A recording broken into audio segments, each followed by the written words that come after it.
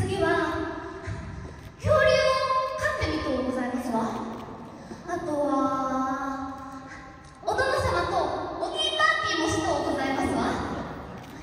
あとはそして空飛ぶお自転車で皆様とお散歩しとうございますわ。ねいろんな時空をね旅しましょう。そして全部にフリフリのおリボンつけちゃいましょうよね。ね私の可愛い美意識ベイビーちゃんたち。が今日言った2つの約束を絶対に守ってくださいますし先生とマサちゃんもご一緒してくださるかしら？いいわありがとう頼もしいわ。じゃあまた次お会いする時にまでこの約束2つを絶対に守ってちょうだい。